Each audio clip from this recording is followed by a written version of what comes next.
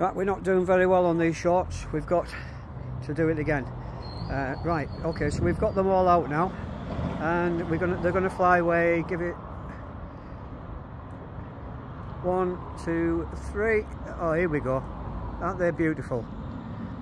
So how long did it take to breed them then, Caroline? Two, three weeks. right, it took two or three weeks to breed them. Isn't that lovely? It doesn't want to go from the from the wife's hand. Where's the other one? It's on the floor. Uh, they're getting used to. Can't see it.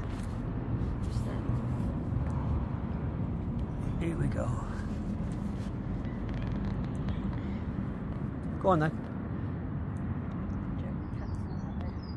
I'll put it on there, Ben. They don't want to go.